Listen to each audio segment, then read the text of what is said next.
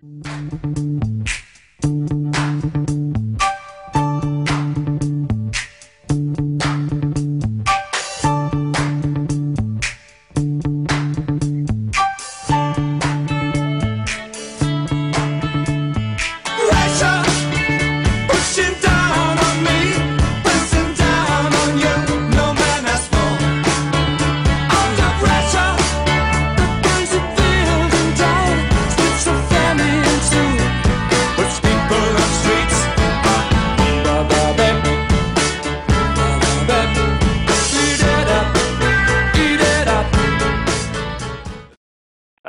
Dr. Ed Park, and we're doing the webinar today on hypertension.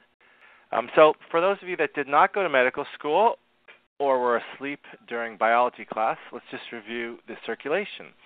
So on the left we have the basic, and it is blue and it is red, which I always was puzzled by. When you take arterial blood or oxygenated blood, it's, it's redder because of the hemoglobin saturation, I guess. So on the left side we have the blue blood coming back from the body where it's given all the nutrients. It comes into the right side of the heart and then it is pumped out to the lungs where they get oxygen, of course, and comes back red.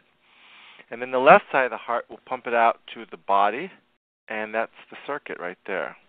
On the right, we see the difference anatomically between arteries and veins. Arteries are these kind of um, pulsatile, or they, they pump these little tubes, whereas um, veins are kind of these these fans, these these networks that um, draw back like the leaves on a vein or the veins on a leaf. They they suck the blood back up. But at the microscopic level, you from artery to vein at these things called capillaries. So what do vessels look like? Well, an artery is on the left, and you see most notably that the um, th- the muscle, the contracting part of it, is very thick. So that helps propel the blood away from the heart, and you can fist pulse. Um, it, these are all cells. The body is comprised of cells. So lining the cells on the on the flow portion of the in, interior tube are these endothelial cells. So those need to be regenerated by stem cells. And then there are other layers. Elastin. It's kind of like the um, the plies on a tire, or something that keeps the thing flexible and pliable. And then there's the connective tissue. Whereas a vein is notable for less of this musculature, and they have these things that are one-way valves, which keep the blood pooling excessively due to gravity. So why do we even need a blood pressure? Well, the giraffe is a good illustration of why we need a blood pressure. Um, giraffe generally has a blood pressure about 240 over 160 because you got to get blood all the way up to the brain when it's feeding in the trees. But when it does this dealio to drink from the water, it can double. So you're talking about 480 over 320. Now there are adaptations in the giraffe that make it possible. Uh, the legs, for example, are like a pilot's G suit. But um, if it wasn't for blood pressure regulation, this thing would blow its brains out every every time it went to drink water, and every time it lifted its head, it would have that head rush feeling and faint. So, uh, tight regulation of blood pressure is important. This slide is basically how the body regulates blood pressure. On the left, if the blood pressure is too high, you have what's called a baroreflex, which means that um, the pressure is too high in your, let's say, your neck arteries or in your aortic arch, and it says, "Whoa, we're going to blow our brains out, so let's drop the pressure," and that's mediated by this vagus nerve primarily, which is just the, the parasympathetic nerve that we talked about, the relaxation nerve, the one that you know is to um, cool things down. And so the if the pressure is too low, on the other hand, um, let's say you know pilots they pull a lot of G. Sometimes the blue, blood pools in their legs, and there's no blood to go to the head. Well, that's why they have these pressure suits that can adjust and keep the blood from pooling excessively. Even with the valves, if you do that, then you're just going to faint. And we've all had probably experiences of dysregulation where we got up suddenly, and that's really what's going on. The blood is pooling and it's not getting to the brain. All right. Well, this is the um, this is the thing that makes people want or not want to go to medical school. Probably, uh, it's complicated. You got the kidney here, the nephron then the liver and the angiotensin and yada yada yada. But basically, we're going to break this down just just kind of in a cursory fashion. So Renin, angiotensin, aldosterone, these are all involved in the short-term regulation. I mean, immediate term, like a giraffe, is of course baroreceptors, and that's sympathetic, parasympathetic. But you know, this is the heart of the problem. As we, um, when the kidney is um, underperfused, let's say, there's a uh, release of renin, and renin is an enzyme that will cleave this liver-produced pro-hormone, angiotensinogen, into angiotensin.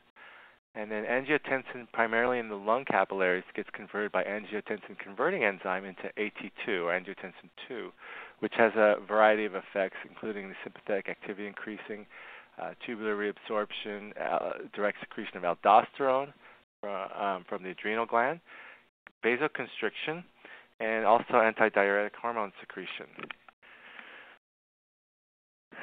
So anyway, that's really complicated. Um, this is the part that I want to share with everybody, and this is the really the take home. Um, consider the garden hose. All right, this is all you need to know about blood pressure. The task at hand, the, the whole function of the circulation is to send blood away from the heart to where it's needed, in the muscles, in the brain, in the kidney even. And the solution, when you're underperfused, is to increase the blood pressure.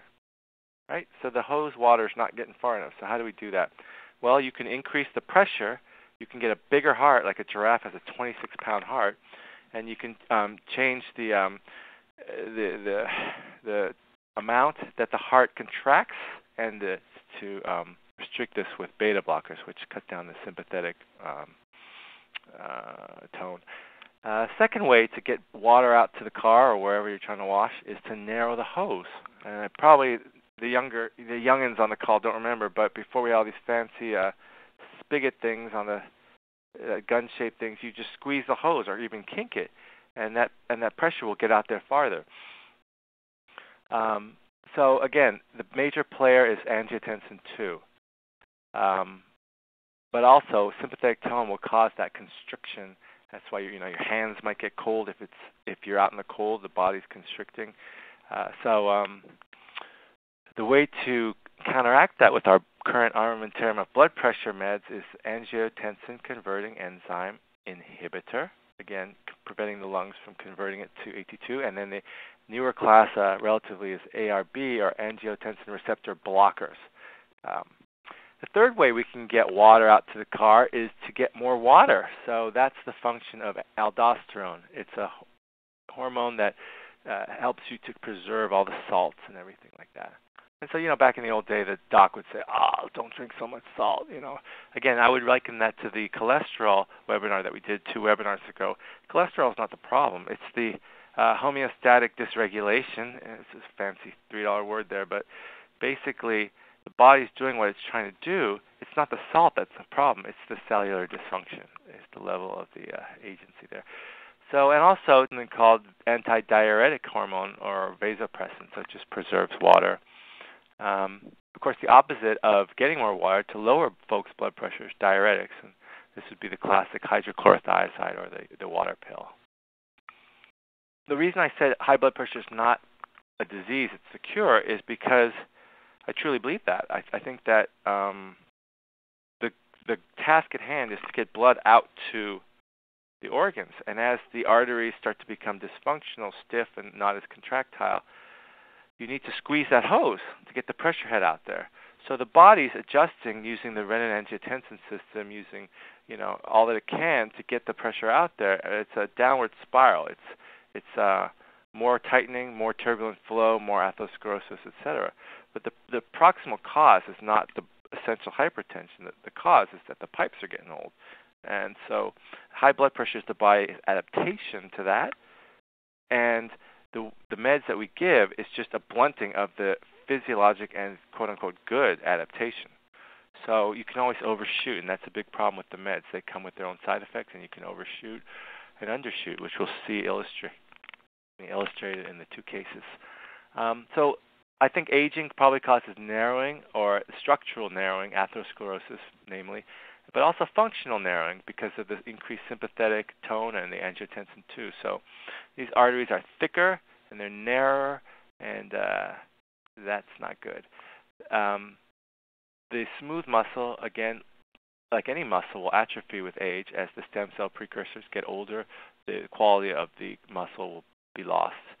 That um, little layer there of the elastin will also get stiffer and like an old water balloon versus a young water balloon. Uh, foam cells, which are macrophages or um, kind of cells that are policing the lining to clean up the gunk, uh, maybe not doing as well because they're not as healthy and young. And then also damage to systems, the heart system, the kidney, the adrenals, liver, the nervous system. Aging acts on many different levels to, to deteriorate the quality of the stem cells. So what are we measuring here? Um, okay, so you got this little cuff. It says 120 over 80. Keep in mind that um, 120 over 80 is just at your, you know, your elbow area. That's not necessarily what it is in the brain. It's not that in the feet. It's not that when you stand. It's not that when you lie down. So it's a dynamic measurement. But even more importantly, if you look on the right, we see something interesting. Um, you could be measuring, let's say, 120 over 80. It's not in this case, but let's say you have an 18-year-old kid and an 80-year-old man. It could be 120 over 80 at the elbow. Um, but how do you get that 120 over 80? Well, this illustrates here that a young person, because their artery is soft, smooth, has a big lumen or, or, or you know hole, and is contracting like gangbusters, the young person has 120 over 80 with very little effort, whereas an older person will need 120 over 80 by shooting really high and using the, the, the arterial tightness and the aldosterone, the renin. So again, same functional goal, perfusing what, what have you, muscle, brain, not as efficient. Here's an interesting um, study done uh, specifically on atherosclerosis, which we haven't really covered, but it just happens to be the you know the hardening of the arteries. Everyone knows that. And what they found here was that the parts of the arteries which did not have atherosclerosis had longer telomeres, and the uh, telomere length was shorter in the aortic tissues when they had atherosclerosis. So that says something about maybe the causality of that. And the reason I like this study too is this is the one in 30 or 40 study that actually measures the end organ. Uh, we have like maybe 14,000 papers about telomeres, but they're all measuring um, white blood cells, which is kind of pointless because you know you wouldn't check your tire pressure just because it's easy to check and and and infer the health of your other car parts. But that's what people are doing, and I think that the correlation between the easy to measure white blood cell telomere length and say, you know, esophageal, uh, you know, lining in alcoholics is just not there. So you can't infer that just because you measured something. It, there's correlation. Everything ages at different rates. This is the funniest statement of all, which I don't know where it comes from. It says these results suggest tissue regulation of telomere size by local factors likely related to oxidative stress response. Um, I, I'm not sure how they came up with that conclusion, but it's clear that they're they're assuming that oxidative stress is central in the causation, and they're assuming that the tail is wagging the dog. In other words, in this case, the telomere tail has to be regulated. I'm not sure why that would be. It just it seems like again, I like I liken this to the green is the green cheese and the moon theory. I don't know why the cells or how the cells or the organ or the organism would be regulating the telomere length. This is just an artifact of copying. So I mean, I, I don't know why these people make this jump, but as the stem cells age, you know, the cells age, and then you get the dysfunction.